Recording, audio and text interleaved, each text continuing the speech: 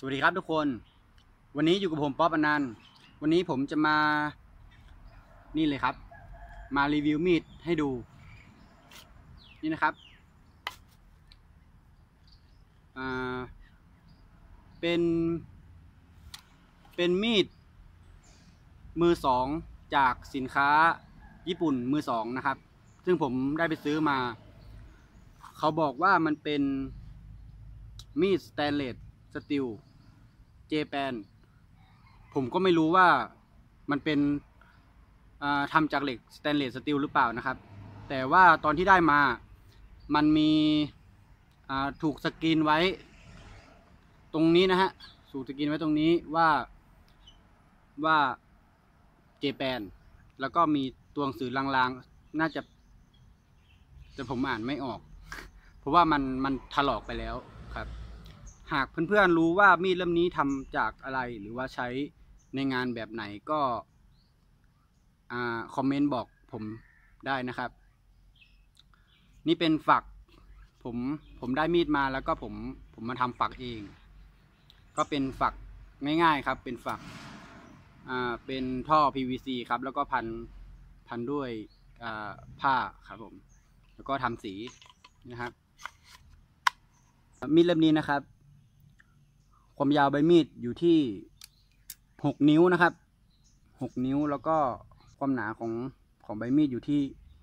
ห้ามิลครับ ความยาวด้ามอยู่ที่ประมาณหกนิ้วครึ่งครับผม เป็น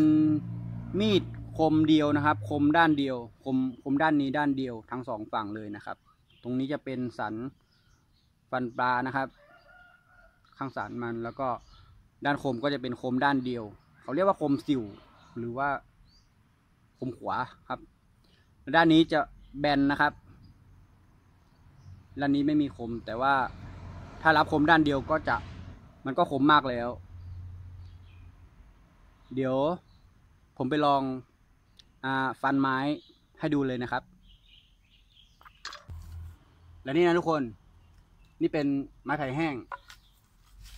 เหนียวแล้วก็แข็งด้วยครับ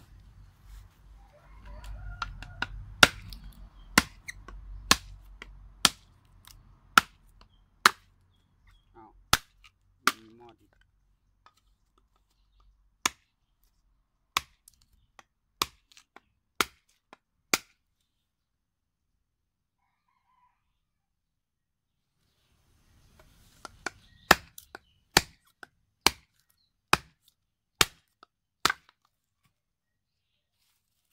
โอ เคนะครับ ใช้ได้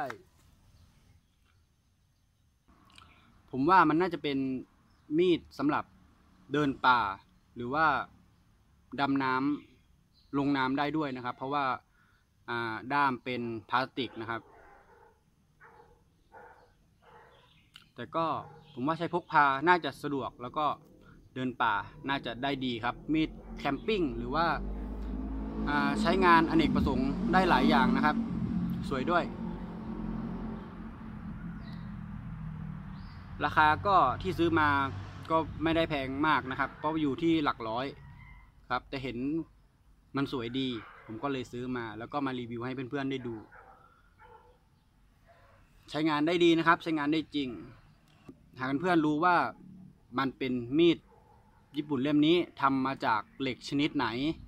แล้วก็ด้ามพลาสติกอะไรใช้ในงานแบบไหนก็สามารถ